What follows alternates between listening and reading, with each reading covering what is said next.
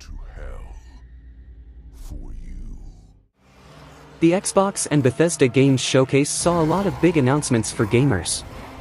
The announcement showcasing Redfall, Starfield, and some other big titles, and also Diablo 4 new final playable class Necromancer revealed. Blizzard launched Diablo in January 1997, with the grim world of Sanctuary introducing gamers to a new type of action RPG that hooked many right away. From Deckard Cain's voice as Tristram to the exploration of the catacombs beneath the cathedral, role-playing in video games really took a leap forward. Diablo became Blizzard's second multi-game franchise, surpassing the company's wildest expectations, and now Diablo 4 has the chance to recapture its RPG sensibilities with expanded character customization. While Diablo and Diablo 2 managed to walk the line of introducing and refining hack-and-slash gameplay while retaining storytelling and character development, Diablo 3 was by far the biggest hit in the franchise, although much of it can be attributed to gaming marketing evolving over the years. Diablo 3 certainly made plenty of money for Blizzard, but it seems the company is now looking back to the original Diablo. While the predatory monetization of Diablo Immortal didn't give much to look forward to, the company's intentions have proven better with Diablo 4. Character customization in the game is richer and more extensive than ever, letting players design their class with beautiful details. A variety of hairstyles, skin tones, colors, jewelry, and markings, while Diablo 4's character creation options aren't as deep as other modern role-playing games, these options can still produce great-looking, personalized characters while maintaining the dark, medieval look Blizzard is aiming for. The new gameplay footage for Diablo 4, we get a closer look at a lot of the game's latest class and some details around the new PvP elements. Beginning with the Necromancer class in Diablo 4, the class mechanic for the Necromancer in Diablo 4 is called the Book of the Dead. It seems that players taking on this class will have a lot of customization in how they want to take on their enemies. They can summon three different types of skeletons, from the traditional undead warriors, to mages, to giant golems. Each of these three summons have three of their own specializations as well, so there seems to be a lot of potential for tweaking a necromancer to fit a certain playstyle. The necromancer has two resources. Essence and corpses. Essence is the primary resource that recharges slowly over time. Essence can also be obtained using basic skills allowing players to cast their skills more often. Corpses are literally the leftover remains of fallen enemy. These remains can be used to summon minions or power other skills such as Corpse Explosion.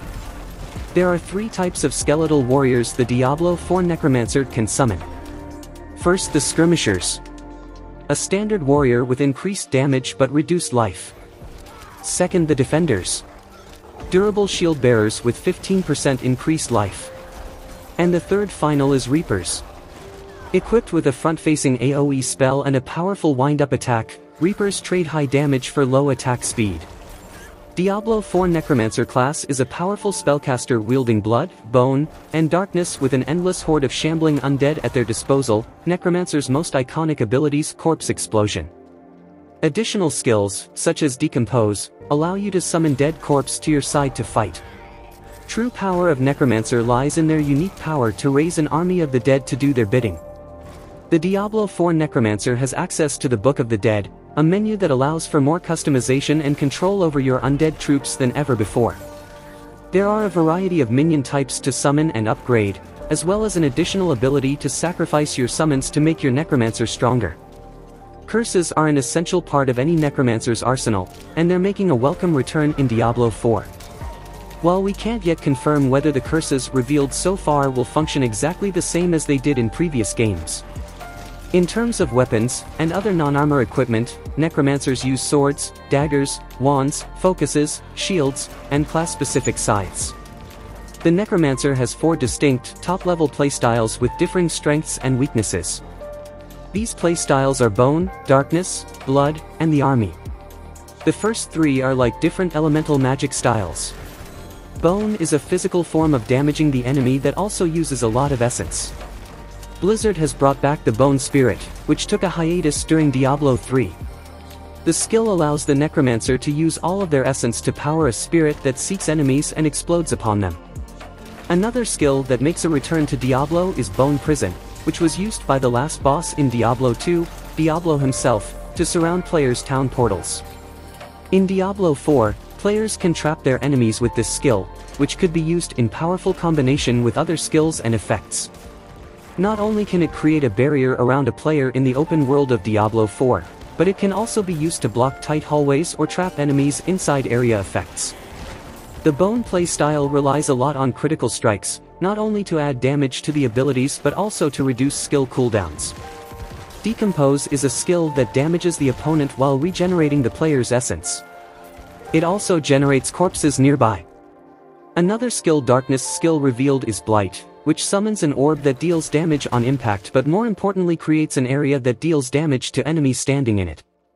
This can be very effective against slow or immobile enemies, like an enemy trapped in a bone prison.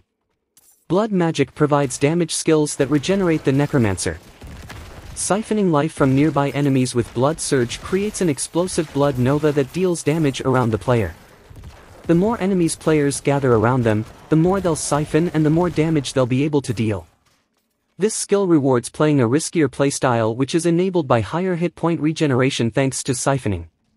The second blood skill is Blood Mist, which is a defensive skill that makes the necromancer invulnerable while siphoning life from enemies.